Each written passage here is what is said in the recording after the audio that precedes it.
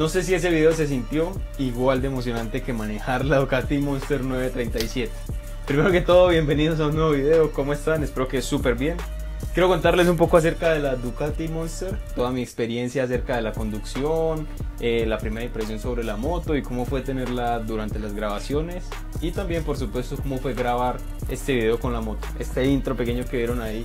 Así que para empezar hablemos de la apariencia de la moto y la primera impresión cuando uno tiene la moto así de frente. Respecto a las versiones anteriores ya no equipa o ya no tiene muy vistoso ese chasis tubular o esa acompañamiento tubular que se combinaba como ahí debajo del tanque. Igual en pantalla estarán apareciendo las anteriores. Ya es un poco más moderna, si se puede decir así, aunque más que moderna, compacta. La moto conserva todavía el colín pequeño y este el extensor del guardabarros para la placa. Por supuesto también sigue teniendo el faro redondo, totalmente redondo, se ha modificado claramente desde los anteriores. Los anteriores eran incluso halógenos, ahora tiene una luz de circulación diurna LED y por supuesto la farola también es LED, que estas van como en forma de lupa. En la primera impresión la moto 100% se ve como una moto pequeña, no como una mini moto, no es tan, tan extremo el pequeño. Pero sí se ve como una moto, no pretende ser la más grande del segmento, ni pretende verse grande al lado de otras motos. Como algo como un sleeper, diría yo, porque realmente la moto, más adelante hablamos de eso, pero la moto anda durísimo en todos los modos de manejo. Así que sí tiene como la potencia suficiente para competirle a otro. Cuando uno está subido en la moto es muy, ¿cómo se dice eso? Angosta también.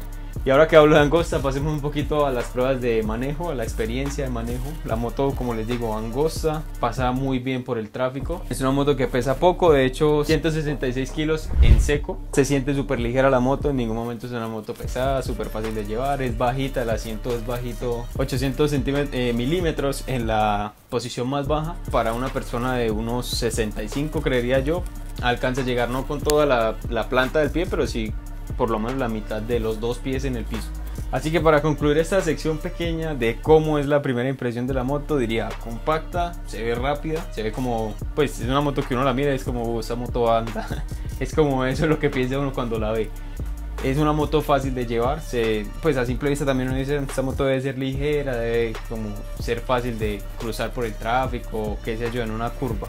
Ahora, para hablar de si es fácil de llevar o no, Pasemos al motor y al equipamiento. Para empezar, la moto viene súper equipada. Tiene quick shifter, tiene ABS cornering, tiene modos de manejo y tiene también launch control desde fábrica. Lo cual, ah, bueno, y tiene Ducati Wheelie Control. Eso es una chimba. Pero bueno, para resumir, todas estas cosas hacen que la conducción sea súper fácil, incluso y más enfocado para alguien que está novato en el mundo de las motos de alto cilindraje. Tiene 111 caballos y es un bicilíndrico y ya saben como cualquier motor de Ducati muy confiable el olor, el olor de esos motores cuando están revolucionados tiene olor Ducati, no sé cómo decirlo, pero las Ducati tienen un olor característico. Lo he probado en las que he tenido la oportunidad de manejar, en todas huelen igual o las que he visto por ahí estacionadas que recién llegan huelen totalmente igual todas, no sé qué sea, si el aceite, componentes del motor, qué sé yo. Hay algo que las hace oler iguales a todas y es olor Ducati es muy belle. Eso fue italiano. En los tres modos de manejo es muy potente. Tiene tres. Cuando estoy ahí cacharreándole y moviéndole las configuraciones de, de los modos de manejo, potencia, ABS, etcétera. Eh, en el más suave incluso la moto, bueno, la única diferencia que le vi al más suave respecto a los otros es la salida. Hay que, digamos, acelerar un poco más, pasar un poco más de revoluciones para arrancar la moto desde cero. Disminuye tanto la potencia que tenemos que acelerar un poquito como si estuviéramos arrancando con mucho peso, por ejemplo. Es algo como eso. De todas formas no es algo malo ni algo como difícil de hacer. En ese modo de manejo, en el más suave incluso, eh, que es urbano, si no estoy mal, es súper sencillo también llevar la moto, tiene una potencia muy buena, yo lo asemejo con una potencia de una moto 600, por ahí, una 600, 650. En el modo intermedio y en el modo Sport, que es el más avanzado, de hecho no me acuerdo de cómo se llama simplemente el intermedio, como el hermano de la mitad, nadie se acuerda de él. En el modo Sport cambia muchísimo la sensibilidad del acelerador, que por supuesto es electrónico como cualquier Ducati eh, la respuesta es más rápida, se siente súper rápida y toda la entrega de potencia, a pesar de que pues el par máximo está bien arriba de revoluciones, pero desde abajo toda la entrega de potencia es como más, como que voy con fuerza, voy cargadito a salir. Entonces hay que estar ahí como algo pendientes cuando lo tenemos en el modo más alto. Algo que me gustó mucho hablando de los modos de manejo es que literalmente esta es una moto con una computadora integrada. En todos los modos de manejo se podía setear el wheelie control, el ABS que tan intrusivo recuerdo que tiene como unas flechas y todos los modos y ahí le dice como seguro o sport, algo así, si no estoy mal. Pero el ABS eran como 8 puntos y yo como no, no, no, no, no. A lo más buñuelo, a lo más novato, a lo más novato.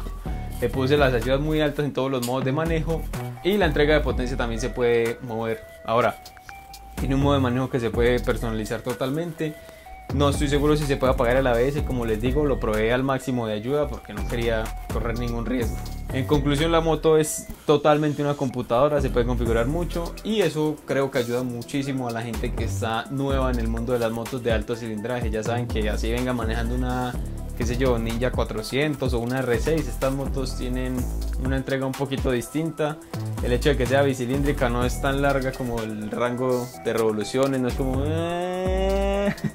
Sino es ahí como eh, entrega muy rápida toda la potencia, es como muy instantáneo todo. El quick shifter estaba genial, es up and down, o sea, se puede meter cambios de manera ascendente y de manera descendente. Por supuesto, cuando se van a subir como en cualquier quick shifter, hay que hacerlo a altas revoluciones o procurar que no vaya como a mil revoluciones por minuto. Para los que se preguntan qué es un quick shifter, es el cambio rápido, el sistema de cambio rápido que se le puede integrar a algunas motos, no a todas. Y lo que hace es que uno va, cuando les digo alto de revoluciones, por decir primera y va a pasar a segunda, sube mucho las revoluciones y simplemente debes mover la palanca hacia arriba y ella hace el cambio, mete la segunda o el siguiente cambio solito sin necesidad de presionar el embrague ni soltar el acelerador.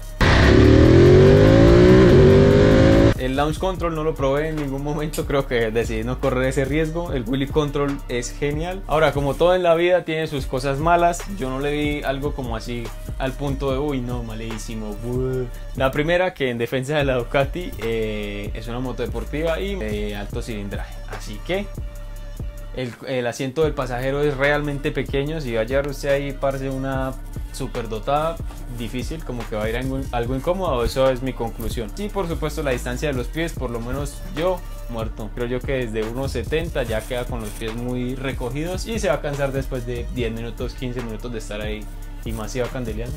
En tráfico, la moto es súper fácil de llevar en el tráfico, pero hay dos cosas importantes de mencionar. En tráfico muy pesado, como que llegar, pasar un lugar por un lugar de muchos semáforos o que no se puede ir tan rápido, bueno, no se puede ir incluso a 50 kilómetros por hora. Tiene el rango de giro un poco limitado, no es como que no gire nada, pero no gira del todo, ¿sí? También si se compara con una supermoto, pues nada que hacer, pero si se compara con otra deportiva, creo que está en el rango de una SBK. Como que se puede girar poquito, hay que hacer como adelante, atrás, adelante, atrás varias veces si se quiere hacer un giro casi que a 90 grados entre carros. Y segundo, se calienta bastante, empieza a calentar aquí, empieza a hacer huevos cocidos, por supuesto. Es una moto de alto cilindraje, creo que todas las motos de alto cilindraje se calientan, pero no es el calor, sino la posición. El calor empieza a salir aquí desde las rodillas y empieza, pues bueno, toda esta parte se calienta muchísimo y es una zona realmente incómoda para estar caliente. Y pues bueno, esa es la conclusión acerca de la Ducati. Creo que fue lo más eh, acertado y rápido para no hacer aquí un video súper extenso dando